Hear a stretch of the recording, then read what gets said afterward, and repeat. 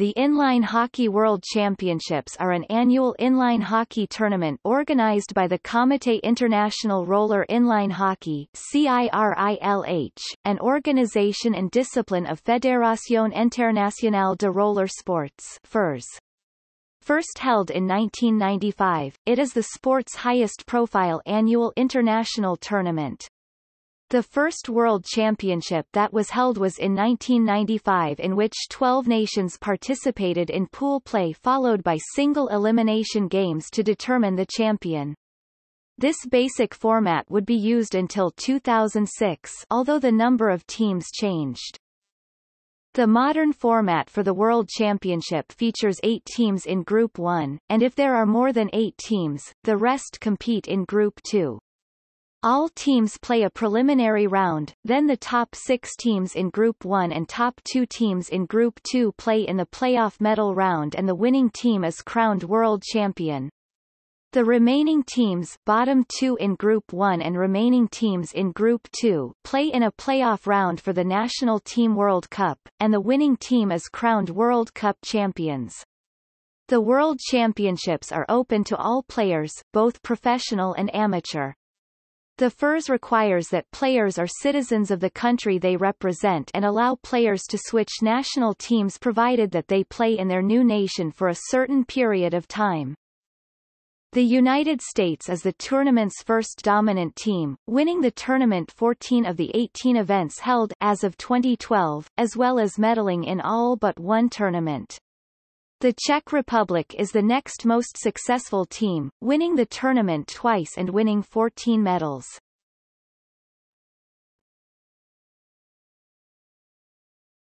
Topic. History The first tournament was held in Chicago, United States in 1995.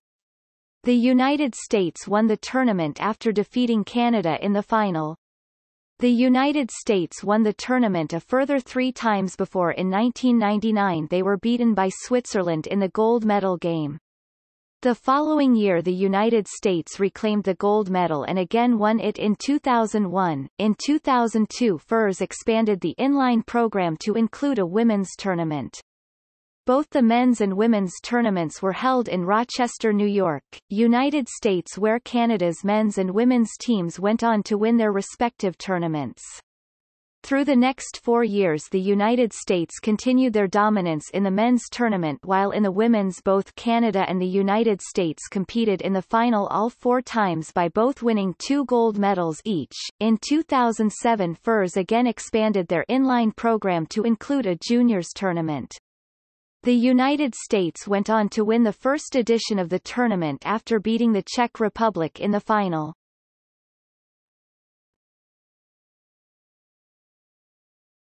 Topic. Tournament structure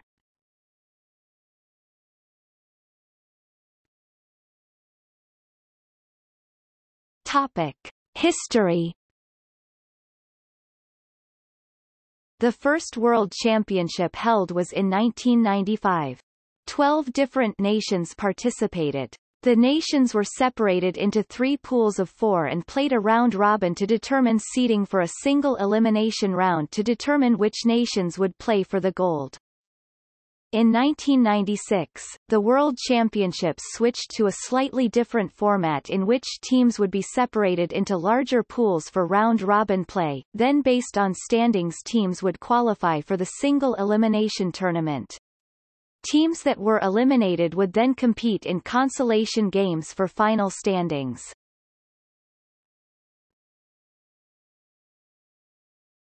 Topic.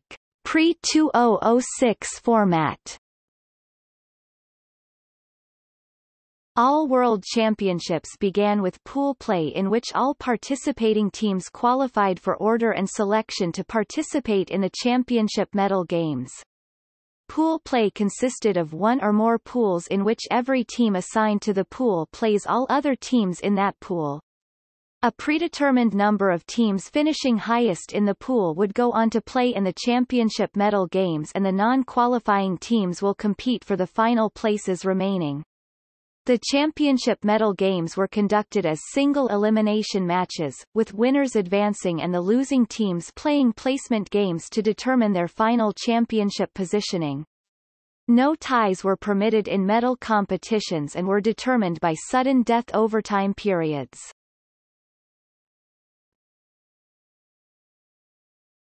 Topic. Round-robin pool play When the total team entry made it necessary to use a modified round-robin, teams would be seeded into two or more pools so that each pool would have equal strength which was based on their final placement at the previous year's World Championships. The teams were assigned to pools arranged according to serpentine positioning. When a team from the previous year's World Championship does not participate, their position is closed up and the serpentine continues with those teams that have competed in both championships. The national teams that did not compete in the previous World Championships would be arranged in alphabetical order according to the English spelling of the country's name and added to the serpentine, which continues until all teams are assigned to a pool.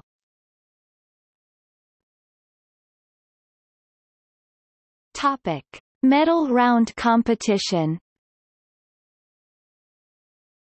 The pre-quarterfinals if required, quarterfinals, semifinals and final games of medal round competition were conducted as single elimination matches. If a team lost in the pre-quarterfinals or quarterfinals, they were eliminated from any further advancement in medal play. The two semifinals losing teams played for the bronze medal, and the semifinal winners played for the gold medal, with the loser of that match receiving the silver medal. When championship play consisted of 16 or fewer teams, the top eight teams were placed in the quarter-finals bracket according to the seeding determined by round-robin play. With single pool round-robin play, the first-place finisher played the last qualifying place, and so on through the remaining qualifiers.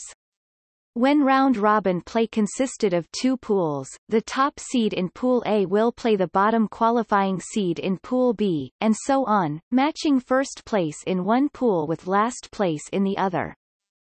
When championship round-robin play consisted of three pools, 12 teams qualify and pre-quarter-finals were required. The winning team from each of the three pools would receive a bye into the quarter-finals. The fourth bye would be awarded to the team placing second in its pool with the best percentage of points earned divided by maximum points possible. If a tie exists between pools, the second-place team with the lowest average goals allowed per game in round-robin play would draw the bye. If the tie still remained, a shootout would be held among all remaining second-place round-robin teams that are tied for receipt of the bye. The remaining eight qualifying teams would be seeded according to their respective placements into the pre-quarter final round, with the winners of each match advancing to face one of the four teams receiving the byes. Where possible, rematches of round-robin pool opponents would be avoided in pre-quarter-final and quarterfinal matches. When championship round-robin play consisted of four pools, pre-quarter-finals are required. The three highest placements in each of the four pools would advance to medal play. The winning team from each of the four pools would receive a bye into the quarterfinals.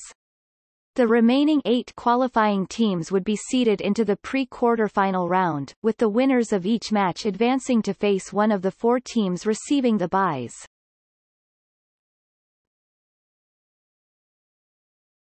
Topic. Placement games Those teams not advancing to compete in medal competition from the preliminary pool play would play additional matches to determine their overall championship positions. Those games would take place in increments of two, three or four team units based upon their equivalent round-robin pool rankings. The placement games would determine their ultimate position within their selected pool strata. Where there were two pools in the round robin, a four-team match is possible which pits the higher placement team against the lower of the open placements and the winners for the two higher positions. In a three-team match, each team would play the other in a mini round robin to fill these open positions. That procedure of layered competition would be repeated until all teams from the round robin that are no longer competing for championship medals had been placed.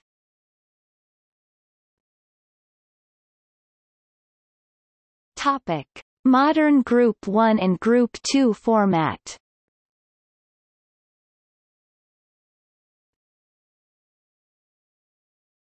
Topic. Round-robin pool play Starting in 2006, when the number of teams entered into the World Championships makes it necessary to use modified round-robin pool play, teams will be seeded into pools based on their final placement at the previous year's FIRS World Championships. These teams will be divided into two groups. The teams finishing 1 through 8 placements will be named to be in Group 1 and arranged therein by two pools of four each, according to serpentine positioning. The remaining team with placements from the previous year 9th, 10th and so on will be situated into Group 2, also arranged into pools so that each pool, as nearly as possible, has equal strength, according to the serpentine positioning. Teams from the previous year's World Championship that do not enter will have their positions closed up and the Serpentine will continue with those teams that have competed in both the last and current championships. National teams that enter the World Championship that did not compete in the previous year will be arranged in alphabetical order according to the English spelling of the country's name and added to the Serpentine of Group 2, which continues until all teams are assigned to a pool. Should there be one or more vacancies in the eight teams assigned to Group 1, created by the absence of teams that finished in the top eight from the previous World Championship, these open positions in Group 1, will be filled by any national team re-entering the World Championship which had finished in the top eight placements during any of the previous three World Championships. If there are more eligible teams than there are open pool positions in Group 1, priority will be given to that team with the highest previous placement, and if more than one team is similarly positioned, then the most recent of these shall be selected. There will never be more than eight teams in Group 1, but should there be a vacancy remaining, the CIRILH Executive Committee is authorized to seed an entirely new team into Group 1, if in their opinion, such nation has the hockey tradition and player talent necessary to compete successfully at the Group 1 level. Teams that finished ninth or higher last year shall not be forced by vacancies into Group 1.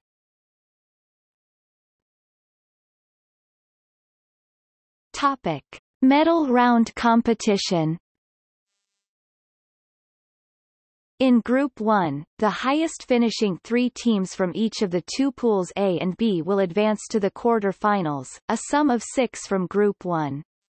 There will be an addition of one team from each of the two C and D pools in Group 2, making the total quarter-final entry eight teams. These teams will be placed in the quarterfinals bracket according to the seeding determined by round-robin play, with the placement in Group 1 considered superior to Group 2. The first place finisher plays the last qualifying place, and so on through the remaining qualifiers, matching first place in one pool with last place in the other. The teams eliminated from Group 1 World Championship medal play, will join as top seeds with the highest finishing three teams remaining in each of pools C and D in Group 2 for a total of eight teams, which will comprise the National Team World Cup quarterfinals in single elimination competition. These teams will be placed in the quarterfinals bracket according to the seeding determined by round-robin play, with placements in Group 1 considered superior to Group 2. The highest place team will be paired with the last qualifying place, and so on through the remaining qualifiers, matching top place in one pool with last place in the other.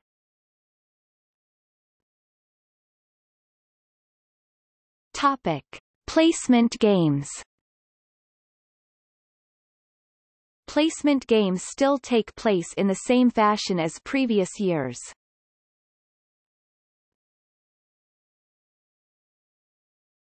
Topic. Other men's national team tournaments. World Championships. FIRS Junior Men's Inline Hockey World Championships. FIRS Masters World Cup Other Competitions Inline Hockey at the World Games. Inline hockey at the Pan American Games. Topic. Tournament results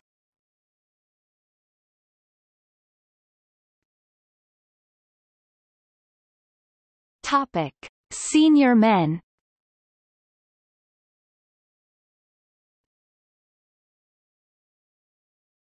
Topic: Senior women.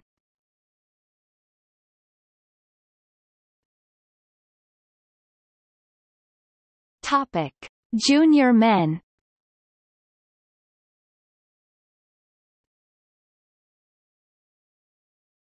Topic: Junior women. equals equals equals veteran men